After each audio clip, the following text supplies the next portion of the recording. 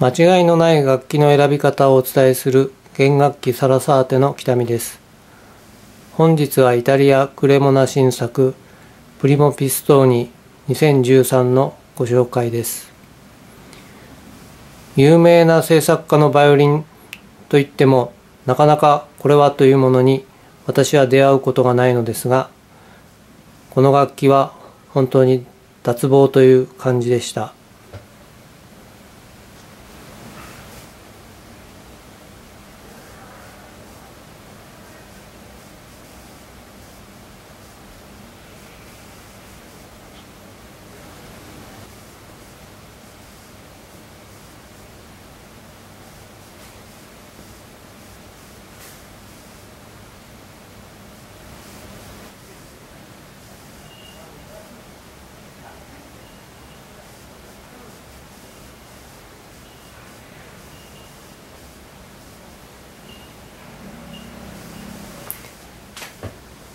出来たてとは思えない音なのですが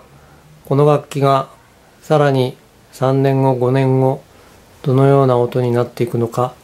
非常に楽しみです。